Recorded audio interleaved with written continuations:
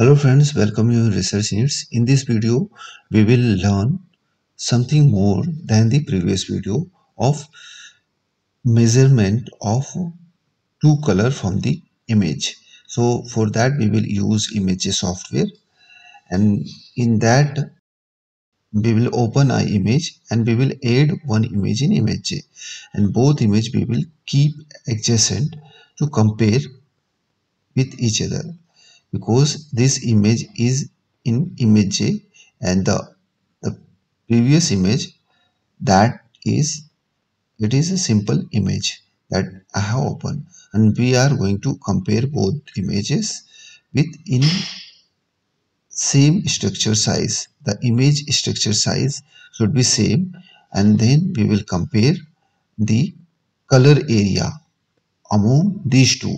You can see here here it has a red and blue color. So we will go in analyze option and we will set a measurement of area and area fraction and click, click ok. Now in image we will adjust a threshold and we will color the whole two colors in single color in orange. Both blue and red color now you can see it is comes under 61 percent now we will save this with shift plus print screen option and we will give a name A35 all.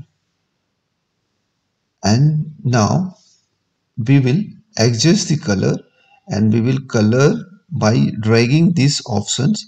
We will concentrate on this part and we will color here a black means we will choose a red color.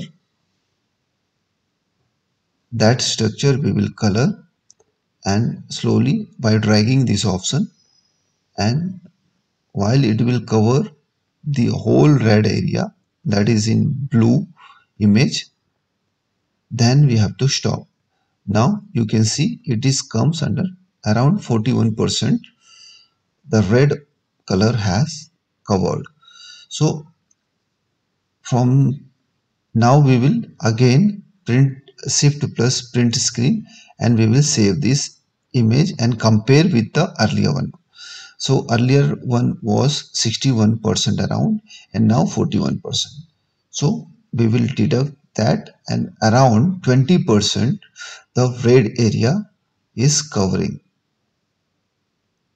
Now we can measure this area is red area red part in image is around 20%.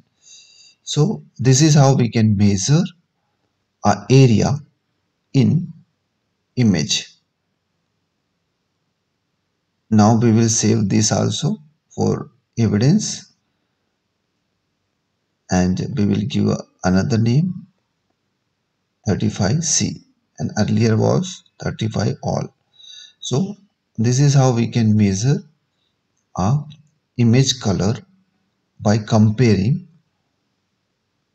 both colors. Thank you for watching research. Thank you, thank you very much.